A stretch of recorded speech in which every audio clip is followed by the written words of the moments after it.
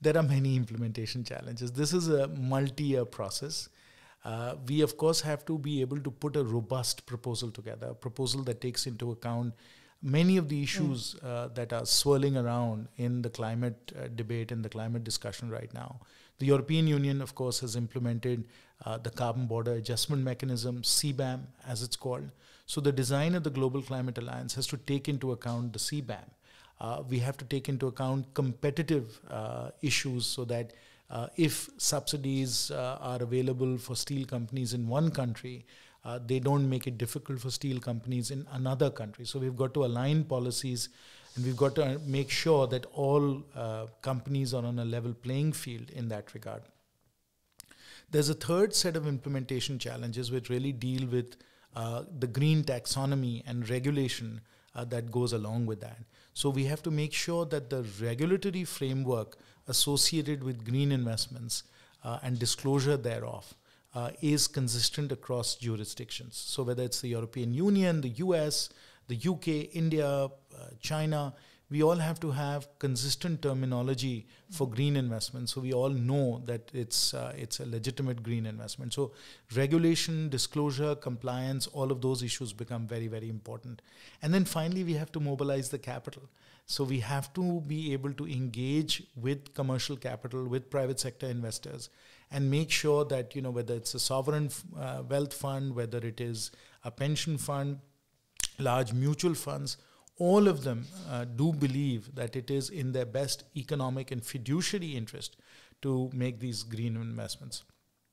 All of these stakeholders have to be taken on board. The policy discussions uh, have to result in concrete outcomes. Uh, political leadership uh, and voters have to feel that this is all in their best interest. And so, as I said, this is a multi year process uh, that will take time to bring on board all the stakeholders. But I have a lot of optimism about it, uh, Karin, because I have seen over the last many years how the EU, with 27 member countries, has been able to uh, forge the EU Fit for 55 program, which is very ambitious, uh, very wide ranging, and is showing real results uh, in moving towards net zero. So the EU is a trendsetter. The EU has shown us how to do it, and we need to build on that and bring on board uh, both Global North and Global South mm. members. And that's why uh, these last two days in Brussels, uh, meeting with European colleagues, discussing with EU officials has been so useful because there are many, many very interesting learnings to be had from uh, the EU Fit for 55 program and the discussions and deliberations uh, across the EU and making this happen. As you mentioned, there are many talks happening each and every day, and you are a policymaker, a politician, so you know how much you need to talk every day.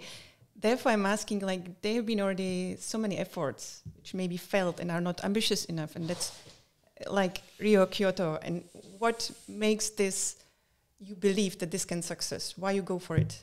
There have been many climate agreements, Karin. You are absolutely right. There's been Rio, Kyoto, Paris, uh, and unfortunately, um, we have continued to increase carbon emissions. The work, the world continues to warm at a, a very accelerated rate. There are three reasons why I think uh, this is going to be different, and I hope it's going to be different. First, the hour is late. Mm-hmm. It's time that we do something really dramatic and radical for uh, the global uh, climate uh, we've got to work together. Uh, we cannot be in a situation where we end up with two and a half, three degrees centigrade global warming because that would be catastrophic. So the hour is late. We have to act. We have to act now. That's the first reason.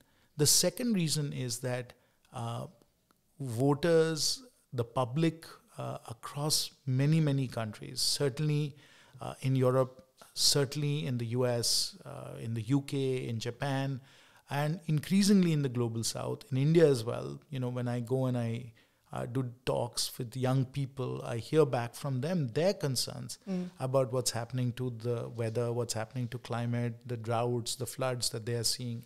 So i think that the support that we're getting from the public across the world to take decisive action on climate change uh, is is really what's pushing us uh, to act and then the third reason i think is that uh, senior political leaders, uh, you know, the Honorable Prime Minister Shri Narendra Modi ji, uh, the Bundeskanzler uh, Olaf Scholz, uh, President Biden, uh, senior political leaders around the world do believe that it is the time to act now.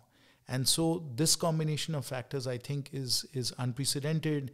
Uh, climate change is uh, something that we are dealing with every day. The public wants to move forward as quickly as possible, and political leaders also see that it is uh, in their own uh, interest, in their country's national interest, to move forward. So I'm very optimistic that uh, for the sake of our children, our grandchildren, and for our sake as well, we will have very tangible and material action on decarbonization now.